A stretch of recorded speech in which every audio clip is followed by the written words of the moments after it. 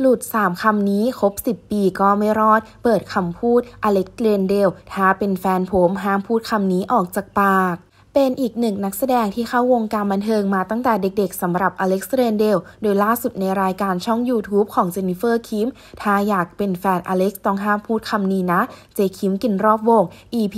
32 โดยในรายการคิมได้ถามอเล็กซ์ว่า คิดว่าคำไหนที่ผู้หญิงไม่ควรพูด อเล็กซ์รับไม่ได้ อเล็กขอกระซิบได้ไหมครับ มีทั้งหมด 3คำครับ 2 คือภาษาไทย แรก 1 คือภาษาอังกฤษ อันนี้เรารับไม่ได้ เจนนิเฟอร์คิม อ๋อ มันเป็นอุปกรณ์ที่ใช้ในการมีสัมพันธ์เลยนะทั้งหมด มีหนึ่งสิ่งหนึ่งสิ่ง และมีปฏิกิริยาการทำอะไรกันอีกอย่างหนึ่งที่ไม่ชอบให้ผู้หญิงพูดอเล็กซ์คือใช้คำอื่นได้ แต่ไม่ชอบให้พูด แต่ว่าคำหยาบภาษาไทย เวลาเราพูด มันฟังดูหยาบ แต่ถ้าเป็นภาษาอังกฤษมันจะพอได้ เราชอบคนหวาน ชอบคนพูดจาดี เป็นพระเอกหนุ่มหล่อที่ทำงานในวงการบันเทิงควบไปกับงานช่วยเหลือสังคมและสิ่งแวดล้อมสำหรับหนุ่มอเล็กซ์เรนเดลที่ล่าสุดเจ้าตัวได้พาทุกคนไปเยี่ยมชมบ้านหลังใหม่ ผ่านทางช่อง YouTube Alex Walk เปิดบ้าน Alex r a n d a l ครั้งแรก Dream Do Come True ซึ่งบ้านหลังนี้กำลังอยู่ในระหว่างการก่อสร้าง แต่ดูจากภายนอกแล้ว ก็ต้องบอกเลยว่าเป็นบ้านหลังใหญ่ที่หรูหราอลังการ